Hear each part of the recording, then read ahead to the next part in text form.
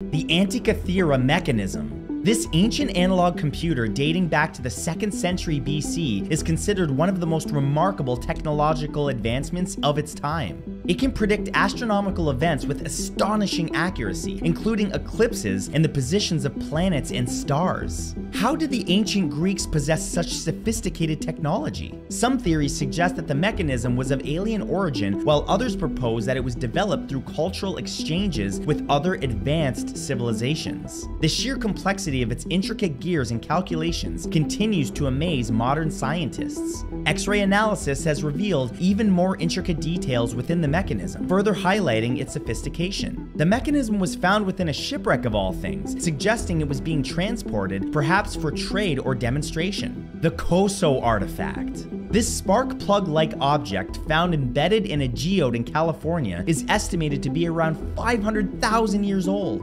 If it is indeed a manufactured item, it would challenge our understanding of human technological development. Some researchers believe that the Coso artifact is evidence of an advanced civilization with advanced technology, while others remain skeptical, suggesting that it could be a natural formation. But the fact that it was found within a geode, a rock formation that takes a very long time to form, makes its presence even more puzzling. The object is partially encased in hardened clay, which also contains traces of metallic elements. Some analysis have suggested the presence of materials not naturally occurring in the region. The Baghdad Battery. These clay jars containing iron rods and copper cylinders discovered in Iraq have led some to speculate that they were used in ancient batteries. These clay jars containing iron rods and copper cylinders discovered in Iraq have led some to speculate that they were used as ancient batteries. Dating back to the Parthian period, these artifacts raise questions about ancient electrical knowledge and the possibility of early electrical technologies.